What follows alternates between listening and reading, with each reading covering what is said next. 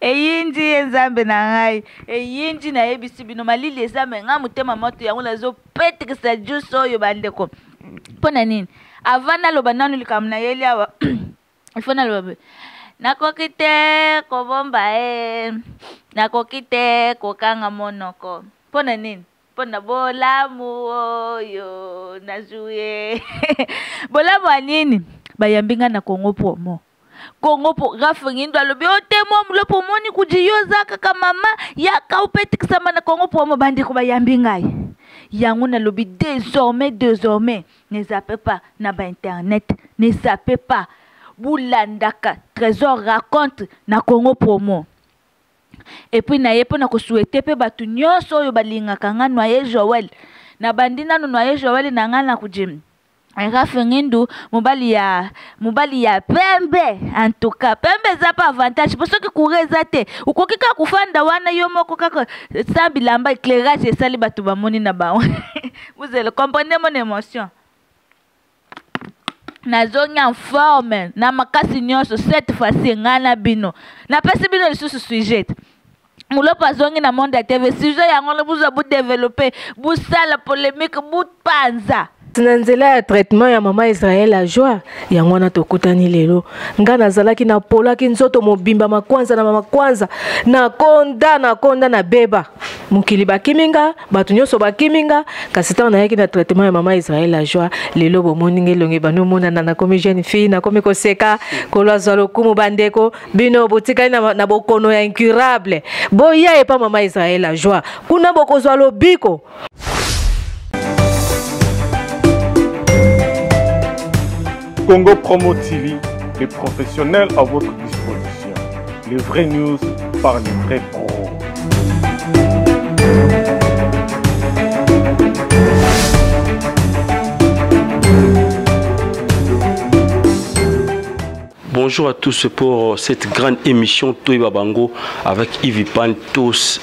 Gadson et Junior Diasso bosengaki biso mama la joie Israël la joie bolobaki esali batemps ebele mama Israël la joie azoleka te azoloba te mama israel la joie aye na solution mosusu babi tour eza kaka oyo wana te mais tour wana tour oyo plutôt tozolobela makambo nyonso to etali basi na mibali alors lelo sujet ya motuya tolobela sur la maladie du sida parce que maman mpe aza na basolution par rapport ya maladie wana ya sida alors toza awa lelo ngai na ami na nga na confrère na nga na frère na nga na jumeau na nga junior diaso pour que tomeka kopartage na bandeko oyo baza maladie ya sida na bandeko oyo bazali eh, na bokono wana na bandeko oyo bakimaka bokono wana na bandeko oyo bazali nango lelo toyei kopesa bino solution à travers mosali na nzambe oyo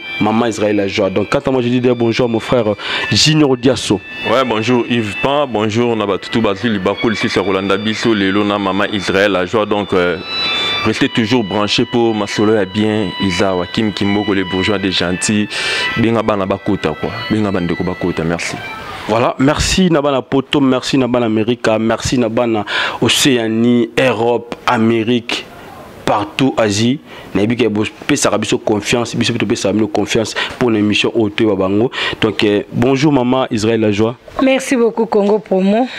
bonjour euh, bandeko bastali mwa mikolo ebele bazomona osusu te balelaki lelaki mama israel la joie oyebisa bandeko wana nani d'abord merci beaucoup nzambe apambola bino nayebisaki bino à partir ya janvier bobanda omonaka pambapamba omoni biso soki tokomi déjà na bafin de l'année tokangamaka mingimingi ka na kati ya église biso basali ya nzambe tozalaka na mosala monene ya kosala mingimingi na bafin de l'année boye Euh, bana na nzambe babundisamaka makasi epuis na biso mpe basali ya nzambe tobundisamaka makasi na bafin de lannée boye parce que diable asi abongisaki bato ya koboma na la 2014 eke bazokufa bazo, bazo na bango te akangai kangai bato na basinga sikoyo biso basali ya nzambe tozomema bato wana na la 2015 mpo bakende liboso ainsi de suite yango wana biso tozalaka na mwa bitumba bana na nzambe mpe bazala na mwa babitumba bazala na bitumba makasi na yango mingi mingi mikolo nazovandaka na eglize nazongaka na ndako awa na ntongo navandi euh, de 8 heures à 13 heures ale 14 heures nake sous prière jusqu'à 18 heures na ye susu kozonga awa mwa moke natali bana nazongi lisusu na eglize kaka ndenge wana yango mikolo eza boye mais à partir ya mois de janvier bolemba nga merci donc mama lobi mama israel ajo alobi à partir ya janvier bokolemba ye chaque jour émission toyeba bango ekoyambela bino kaka mama israel ajoa puki apesa baspécialité ya makambo oyo yayebi alors euh, mama israel ajoa lelo toza kolobela makambo etali sida d'abord tolingai tokota na mozindo ya sida d'abord mpo na yo sida elakisi nini merci beaucoup sida ezali maladie moko sexuellement transmissible oyo eza ezali kowuta kati na mwasi to kati na mobali na nzela ya bosangisi nzoto Voilà, comme tout le monde euh, le sait bien, maladie wana et banda na année 1982, donc euh, année wana et kota batu ba barangote. Mais lelo sida et comme tina Afrique. Alors tout ça mosali na nkolo euh, pe euh, monganga munene maman Israël la joie. Tongi to yeba maman ndenge nini obandaki euh, ba traitement ya maladie wana ya sida. Mm, merci beaucoup euh, Congo Promo oyebi bokono ya sida yango ndenge bino bato kinshasa na mokili boyebeli yango na 82 mai mpo na biso bible ezoyebisa biso na deuteronome 28 à partir ya verset 15 ti kuna na se okokende kokuta ke sida ebanda lelo te sida ebanda kala bato bakotanga euh, mokanda ya nzambe oh, na deuteronome 28 banda kotanga à partir ya verset 15 ti na suka yo okomona mpenza ke sida ebanda kala eza maladi moko nzambe abimisaki mpo na konyokola na yango bato ya masumu ezalaki ndenge wana nde biso toyebeli yango me na ntango euh, mokili eye koyeba yango na ba 82 ndenge ozoloba wana me eza maladi ya lelo te eza maladi ya lelo te bon ngai nayebeli yango na ndenge nini ngai nayebeli yango na ndenge namoni yango ezobomaboma bato yaya namoni yango ezobomaboma bato okomona moto azokonda nzoto ezosila dans le vide nzoto ekei donc esili okomona suki ya motu ebandi kokatana katana suki ezosila suki ezolemba ezokoma lokola dongo dongo okomona motu wana abimi bamakwanza ba, ba ya mwindu mwindu na nzoto ezosali mokusa makasi ezosala mokusa makasi mosusu okomona bapota ekobime na nzoto poto ezobima na nzoto ya motu dans le vide mosusu okomona misu ekomi rouge makasi mbebo ekomi mpe rouge makasi lolemo ebandi kozoka bapota mpe monoko ezozoka bapota okomona mpenza motu libumu ebandi kokota ye c'est-à-dire ke diara makasi donc eloko nyonso oyo eza na kati ya libumu na ye il faut anena yango il faut abimisa yango ezala bagrese akosumba yango ezala banini ba, ba, biloko akolia nyonso azosumba yango c'est-à-dire ke eloko nyonso oyo ezokote na kati ya libumu ezobima ondire moto aza na amibe mais nzoka nde ya amibe te eza microbe wana ya sida okomona baforte fièvre ba forte fièvre mais soki ake azui zemi ake kobota boye na ye na mwana bakufi donc euh, soki aboti ntango mosusu mwana nde akokufa liboso mama alandi to mama akufi mwana alandi okomona baforte fièvre donc fièvre akosakana te epuis okomona kosukosu moko mpenza kosukosu wana telema ekoma makasi ekomaka tiber donc eh, sida nayebeli yango ndenge wana Ah, merci maman Israël la joie Junior Diasso ouais maman Israël la joie toyoki yo kolakisa biso ba symptômes ya, ya sida ndenge nini tokoki koremarke ke moto aza na sida mais question moko eye bandeko batuni balobi tolingi toyeba maman Israël la joie sida oui c'est bon mais est ce que sida motu akoki kozwa yango kaka na premier jour akutani na partenaire na ye nde akozwa sida bon merci soki mutu aza na sida osali euh, okutani euh, soki okutani osangisi nzoto na mutu oyo aza na sida me yeba ke déjà e, ekomi na e, ekoti déjà me e, eza na période d'incubation me nanu ese manifeste te me se ekotaki me ekokota à partir ya ndenge yo moko omonaka Euh, bana mibali mingi aza na systeme akotika bapwale soki akutani na mwasi aza na sida bapwale wana soki kaka ezokisi mwasi boye ezokisi ye mpe akozwa sida na mwana mwasi oyo amesana kotika bapwale ntango bazosala rapport sexuel na mobali bapwale wana ezokota ye moko esalaka mwa bapota, bapota moko ya mike mike mosusu ezalaka visible aleini mosusu mpe emonanaka te bagratitude donc ozomona mpenza ke sida ekoti mbala moko mais le même jour wana okoyeba no te ke sida esi ekoti yo mais soki oza na nzoto moko oyo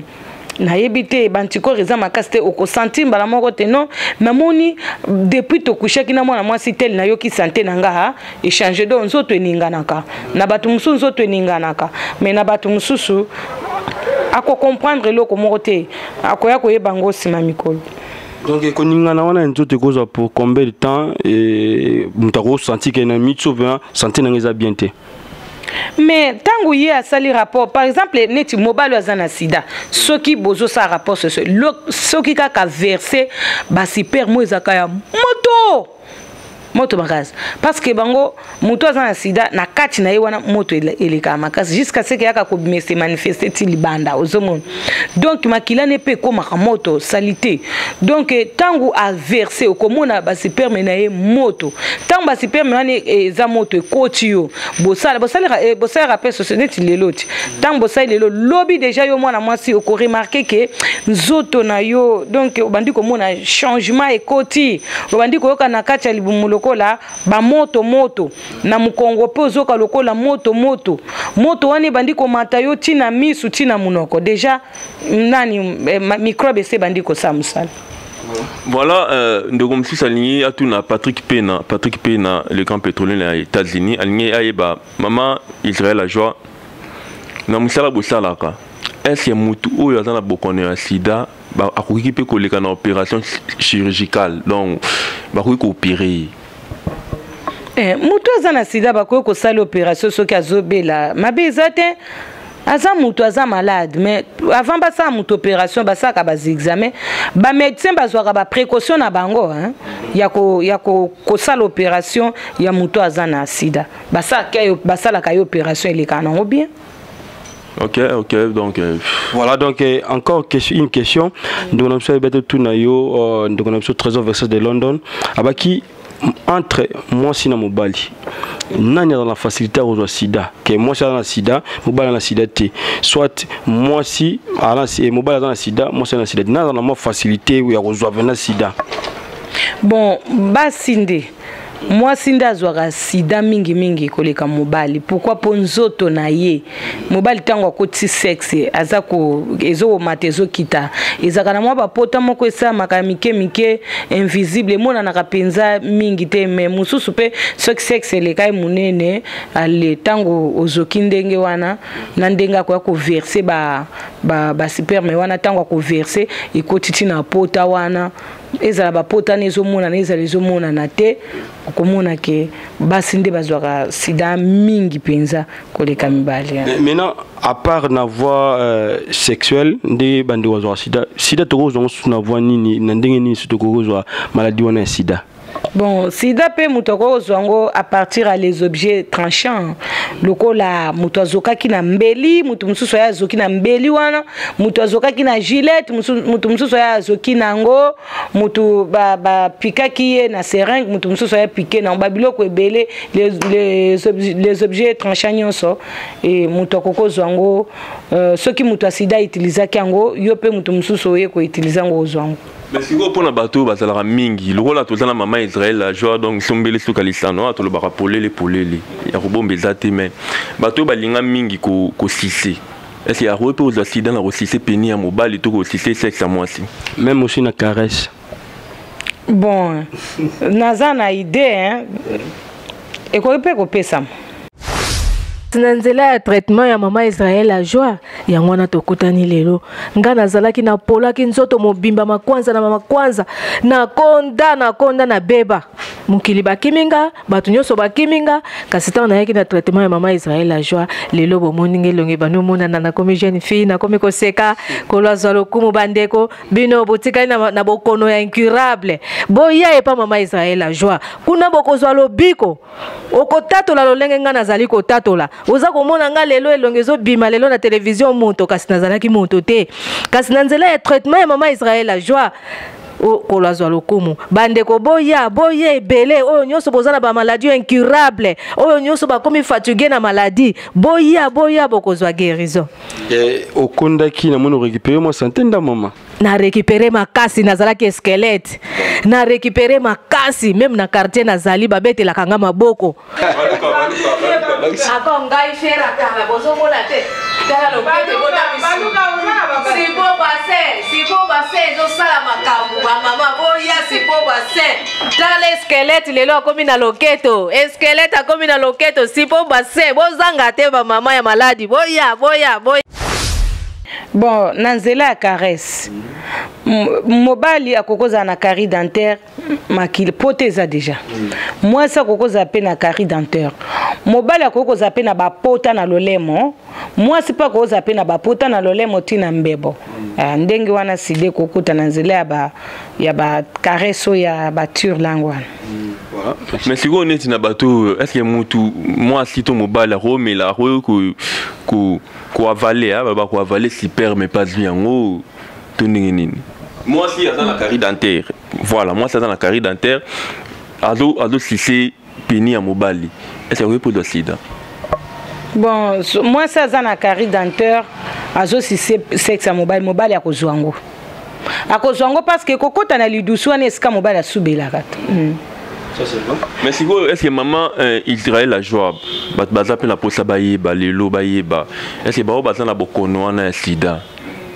bakoki mpe koya epa mama israel ajo bazwi solution na bokono na bango bon nzambe apambola bino nga mama israel ajwa bato nyonso bayebeli nga na batraitement wana banda nazalaki mwana moke naswanyaka yango me boboma ngai te mpo na bolingo ya nzambe ezali nzambe nde moto alotisaki ngai nga nalalaki na ngai nzambe apesi nga composition ya kisa sida yango kaka nde naswanyaka nango mpe motu aza na sterilité soki lelo bobengi ngai israel ajoi ezali parceke nzambe arevela nga nde nini nakoswanye sida bon lere wana bozali kobenga nga mama patience mais aujourd'hui bato mingi babosana nga mpo nakomi kitoko makasi mpe nakomi mpe monene makasi koseka te yaya na changea na changea nga moko elekela nga mpo nakoma mpe molai nazalaka mokuse nasisi kobota bana na ye molai nakomi kitoko nakomi mpe na suki ebele miso na ngai mpe ekoma pembe minu pembe loposo na ngai mpe ekoma kitoko na elekelaka ngai nzambe azwa lokumu na nkembo mpo nazomikumisa te eza nde eloko ekomeli ngai boye donk ekomeli ngai mm. mais mama, mama la joie ntango alobi makambo ya mama patience la je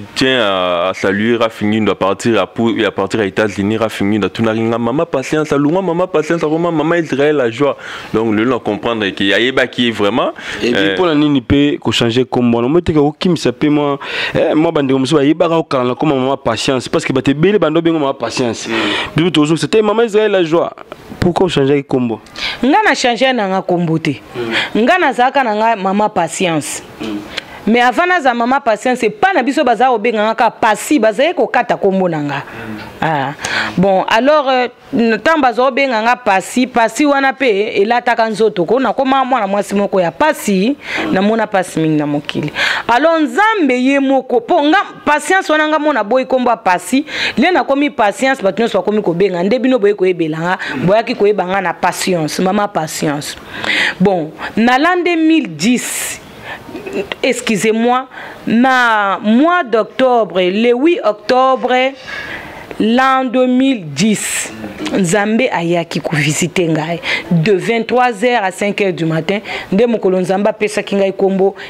Israël la joie nzambe ayaki kopesa nga mbote na ba felicitation mpe alobi na nga kobanda lelo mpasi na ngai esili mpe namoni ke mpasi na ngai esili me ntango nakomi Israël la joie le nzambe azobenga nga Israël la joie namoni lokola ah, kokoma change kombo nzambe nzambe alobeli nga koregrete te kombo na yo Israël la joie nzambe alobeli nga repete nsima na nga Israël la joie nga mona ye korepete israel la joie ntango nzambe azolobela nga azobenga nga israel la joie alobi ayebisi nga likambo israel la joie ayebisi nga likambo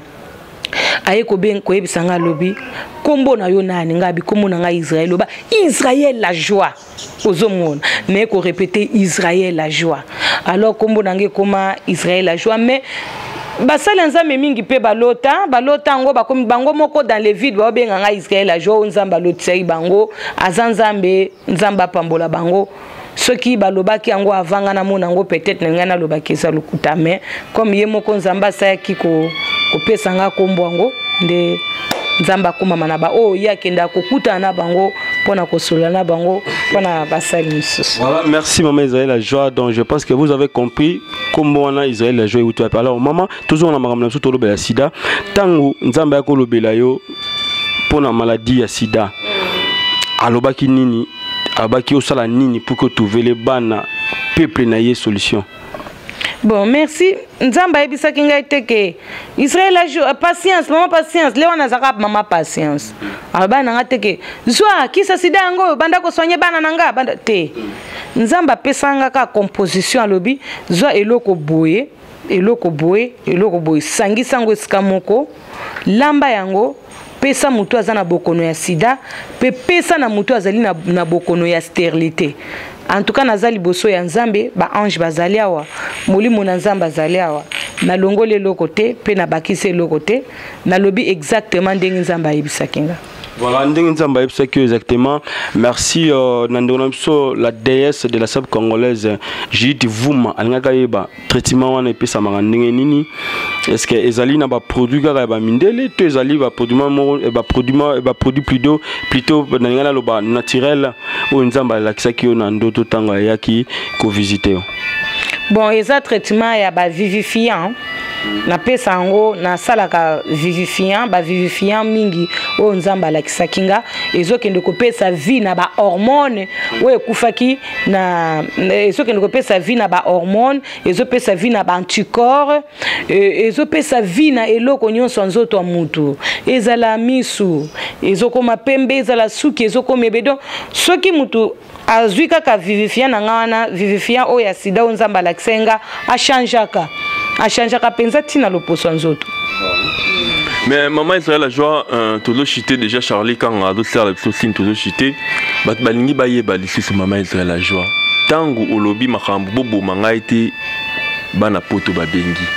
ya wile likai eh, le grand muscador babengi le roi hiroshima na kati ya paris chris kale ingénieur de son mama israel ajwa ye bosengaki esengaki ester briska stela motema mpasi tokolobela makambo ya banduta tozoya wana na makambo ya banduta makambo ya makambo ebele mais mama israel ajwa bato balingi bayeba pourkui olobi bongo baboma yo te mpo kosoigne bato ya sida eza mabe mama israel ajwa eza malamu me bato ya miteya mabe balinga alobi kwa bato te bakotelemela bakofinga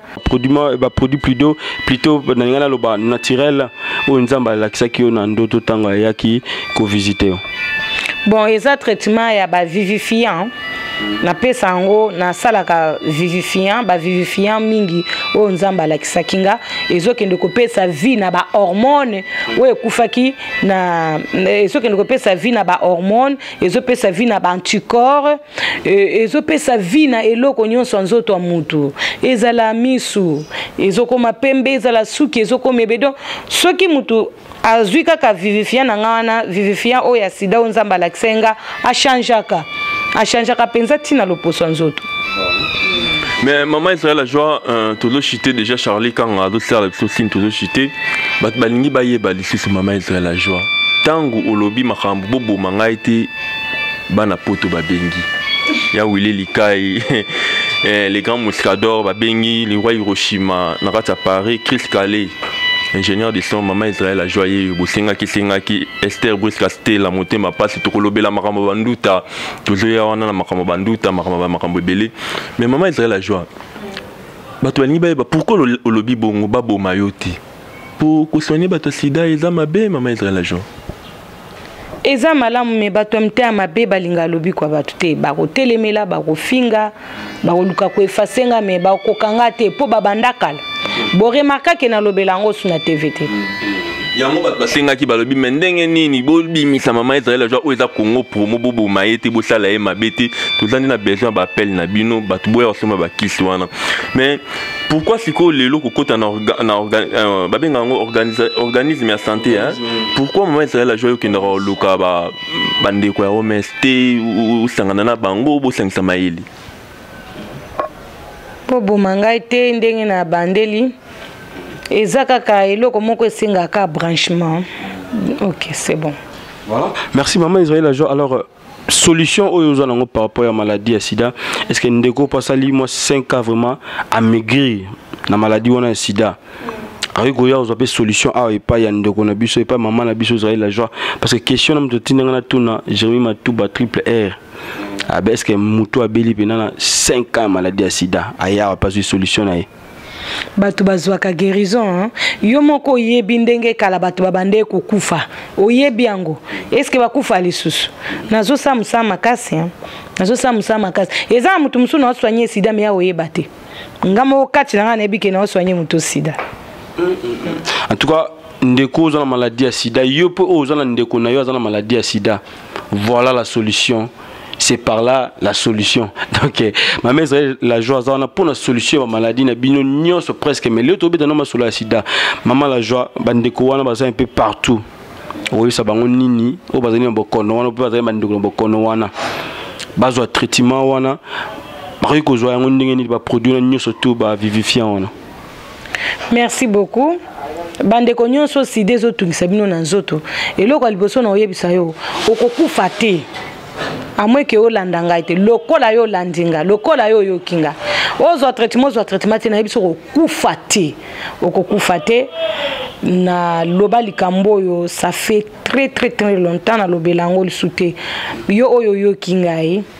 nazoye biso ke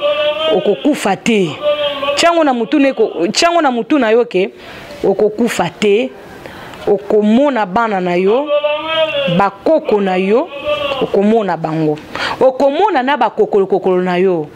eza elembo na tie likolo na yo mpo oyeba ke mokolo moko nzambe asololaki na yo na nzela ya mama moko nkombo na ye mama israel ajwa tika ete esengo oyo nzambe atya kati na nga ekotela yo bika na nkombo na yesu amen mama amen ndeko tony lopez tony lopez alobi totuna mama israel ajwa tony lopez nalobi bien tony lopez alobi totuna mama israel ajwa mama israel ajwa est ce que eza kaka obligatoire ke mutu oyo aza na bokono ya sida donc mwasi oyo aza na, na bokono ya sida soki aki obota il faut akufa to mwana nakufa bon mwasi oyo aza na bokono ya sida soki azwaki baprécaution te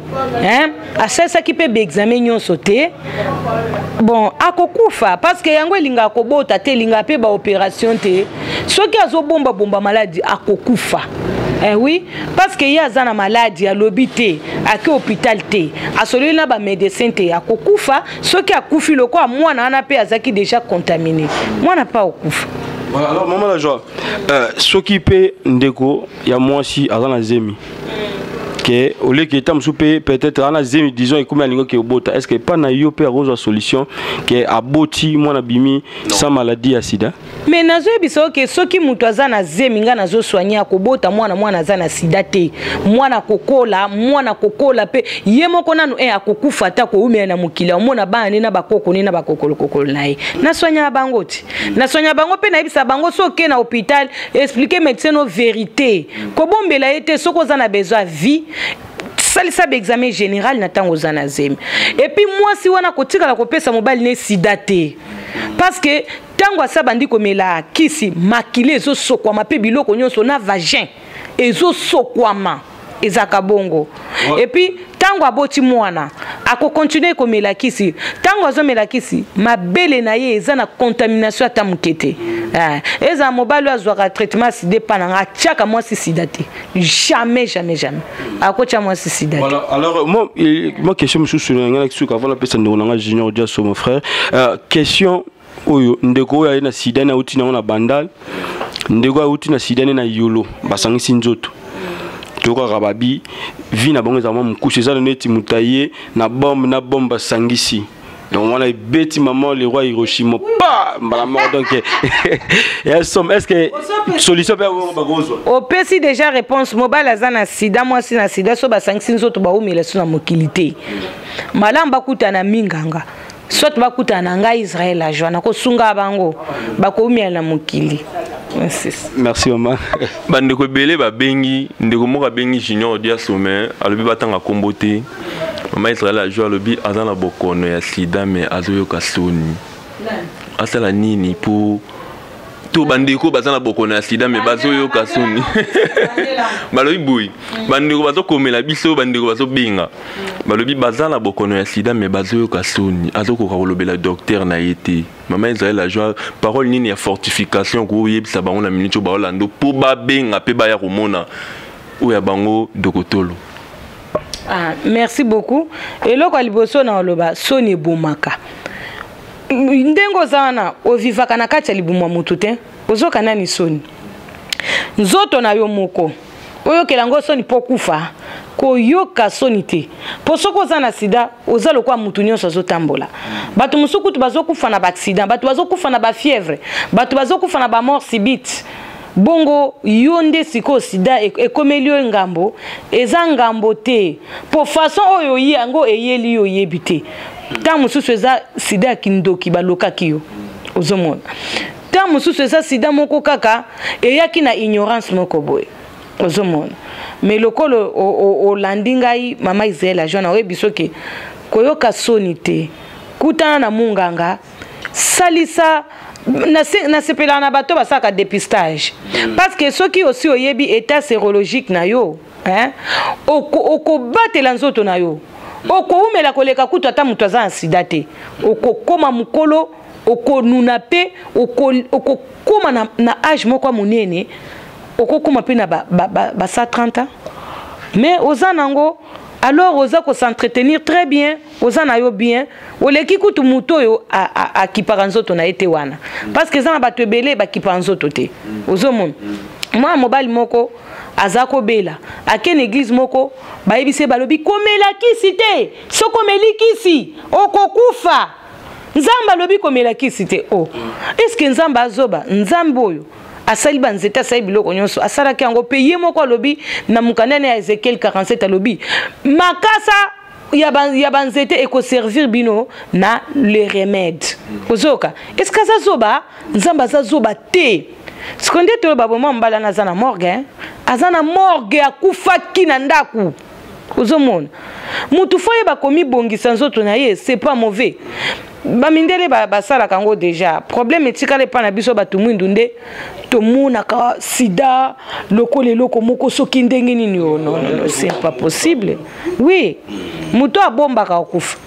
alors mama la joie tokomi vraiment na suka ya émission oyo toyeba bango donc alors euh, bandeko oyo baza na bokono wana bakoki kozwa baproduit bavivifiant wana ndenge nini epuis bakote nini baparcours nini fo bakende pour ke bakutana na mama la joie mpo na bavivifiant wana esunga bomoi na bango esunga banzoto na bango bomoi nzambe nde motu ok bon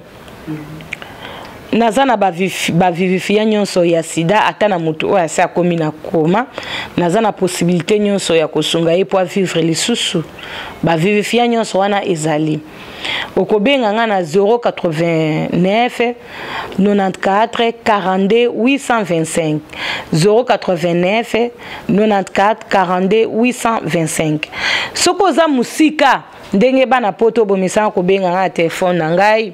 o oh, tozwaka ye te tozwaka ye te boyeba nazalaka mosali ya nzambe bana poto bobengaka ngai na ba 18 heures à partir ya 18 heures bobengaka nga mais jeudi nayambaka bapele te dimanche mpe nayambaka bapele te samedi toute la journée nayambaka bapele et puis tous les jours chaque avant midi jusqu'à 13 heures nayambaka bapele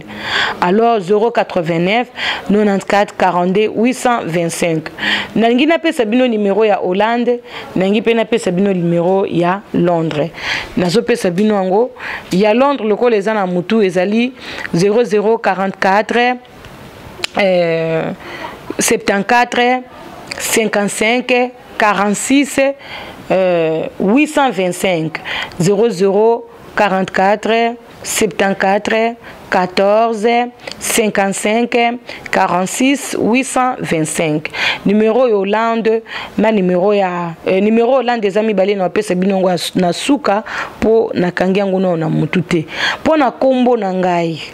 mpo na nkombo na nga oyo bandeko bafreta ba, ba basalaka frete basalaka manda nkombo na nga ezali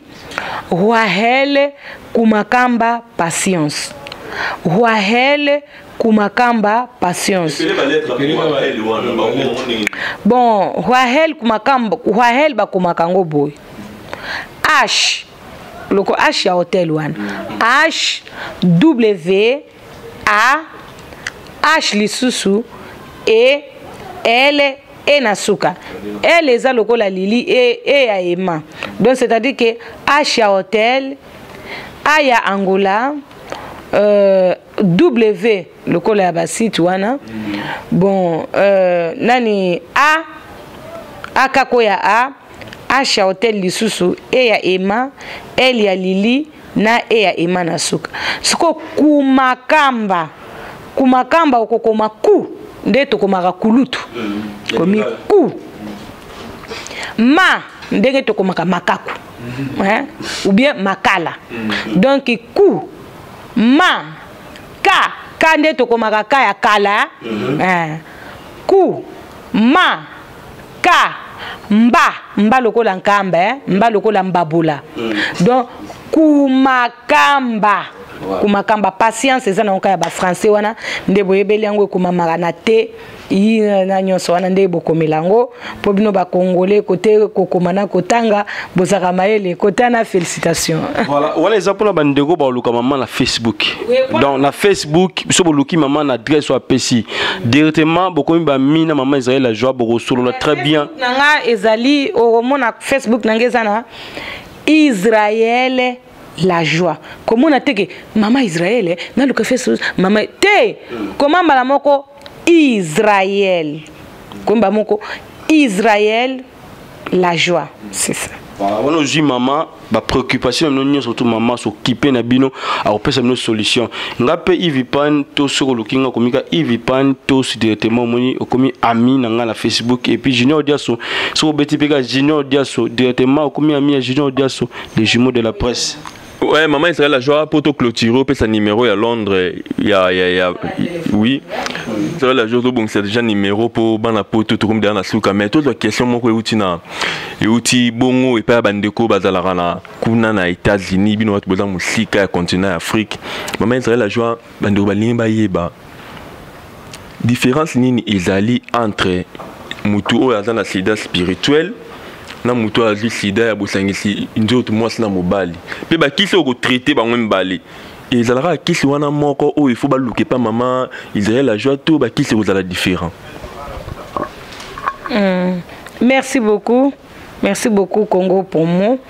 différence entre mutu oyo aza na sida spirituel na mutu aza na sida physique eza boye sida spirituel eza sida oyo bandoki batie yo to nzambe apesi yo yango ozomona mpo maladie spirituel nyonso euti kapa bandoki te eza na mosusu mpe euti epa nzambe bato bapesa bato bamaladie euh, spirituel ezali marabu magicien sorcier ozomona eh? eh. bamagie na satan bato wana donc, donc eh, côté satanique ko mm. euh, maladie sat, sida satanique ezali eza mpe na basymptôme ndenge moko na sida physique bon moto azali na sida satanique azali na guérison ndenge moko na moto azali na sida physique na nzela ya prière ozomona bon na nzela ya traitement traitement oyo yanga baza kaka na guérison parce que oyo ya nga traitement nga napesaka ezali recommandation eza etinda eza etinda oyo nzambe atinda nga soki aye akobika me okobika me il faut olinga nzambe epuis naloba yango nzambe aza na baoyo ya ye nzambe asaka makambo moko yo okocomprendre yango te okomona ke bato bakozala na sida baza ebele me nzambe apermettre moko alanda nga ndenge bazolanda nga na site moko mpe atikala koyeba nga te vini mobimba ozomona donk eh, nzambe aza nzambe so nzambe apermettre motu akutana na nga face a fate seke nzambe moto atindi ye aya kobika ozomona parce que soki nzambe asepeli kobikisa ye te akokutanisa ye na ngai te akokutanise na ngai te mpo nzambe aboyi moto wana abika me oyo nzambe asepeli kobikisa kotinde epa na nga mpo ngai naza na baconseil ba, ba mingi nakoteya ye nakopesa ye liloba nzambe nakoteya ye akokangama na nzambe mpe akomona nzambe baoyo baza na sida physique ata baza bapayen bazwaka toujours guérison me oyo ayebi nzambe ata, ata abiki awa oyo ayebi nzambe soki abiki akobika na mosuni mpe na molimo ti mpo akomona nzambe mpo ayebi nzambe oyo abiki na ye mpo azalaki na sida abiki physiquement akobika na ye mais soki alingi ne nzambe te mokolo asoki abomoi na akende kaka na nfere oh, ozomona mais lobiko eza kaka eloko mo babenga yango grâce mais motu fo ayeba nzambe voilà donc moto fo yeba nzambe babi atoza na sida spirituel physique yaka nango parce que mama israel ajo aza mosali na nzambe ozwa d'abord pamela epuis tokei nanu na vivifiant obiki mbala matala solution malaro mama numero mpo na bana londres batala na mboka ya ba euh, trésor versus de london jeremi matuba triple r hmm. numero ya londres nayobaki ezali 0044 74 14 55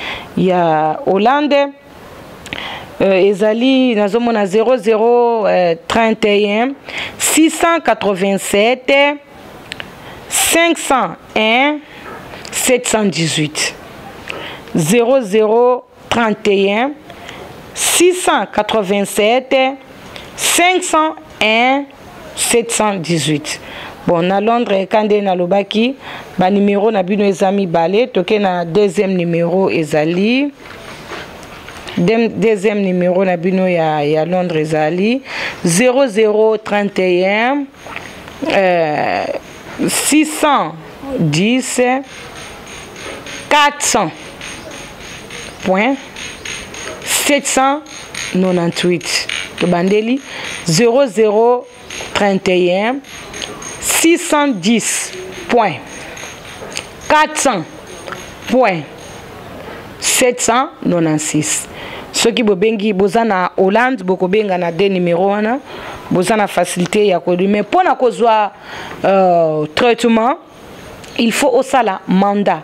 parce que biloko wana ndenge ekomela bino ezalaka bakoli parce que ntango yo osi obengi nga nayebi ka na yo osi oexplike nga nasi nayebi ka na yo nakoprepare koli na yo à partir à awa na ndaku alors okozwa yango na poto na ba numéro oyo na pesi bino merci beaucoup congo promo voilà. merci ma remerciement mpe na bandeko oyo baza liba na mboka kokisama mbote voilà oyo bakoki basombaka bakisi na yo mwa remerciement kaka merci beaucoup na bandeko nyonso oyo bazwaka traitement epa na nga nzambe apambola bino paske mbongo na bino ezali kotonga eglize jésus christ la vie eglize wana eza chantier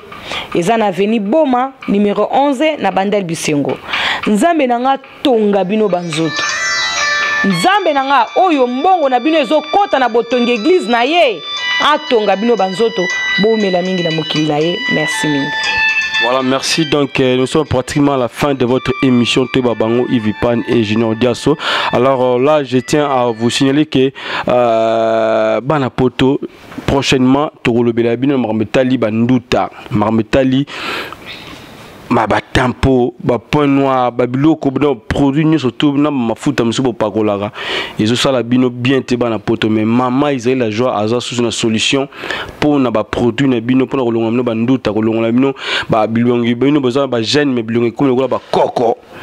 maman la joie akoya na solution bokozongo wana eza prochainement donc euh, je vous dis déjà bye on se retrouve prochainement bye bye Congo Promo TV, les professionnels à votre disposition. Les vraies news par les vrais pros.